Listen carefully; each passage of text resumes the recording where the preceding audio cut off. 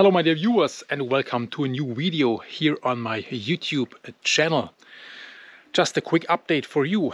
Um, there haven't been a video since a couple of days. So I just want to inform you what's going on, what I'm doing. At the moment I'm very busy. I have to do important paperwork, homework. I don't like these things but from time to time I have to do this. And then a fun project. I'm helping a family member to open a new um, YouTube channel. Um, then I'm looking about my own YouTube channels. I had a lot of things to do there.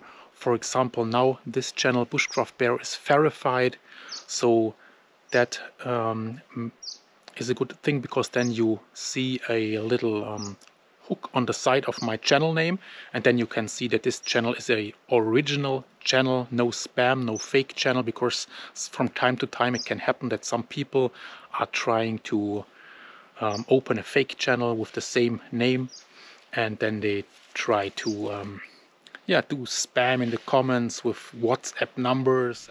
So there are some news here about this island. Scientists or volcanologists found out that there is a big magma chamber under this island La Palma and they are say saying that there is nearly a 50% chance that there will be another eruption in the next 50 years here on this island.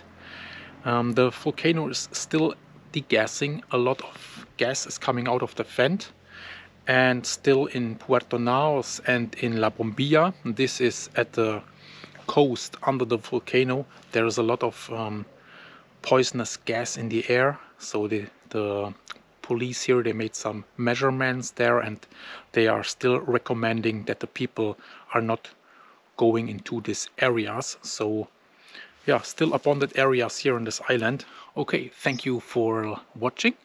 I wish you all the very best. Have a nice Sunday. Take care, stay safe, stay healthy. See ya. Goodbye.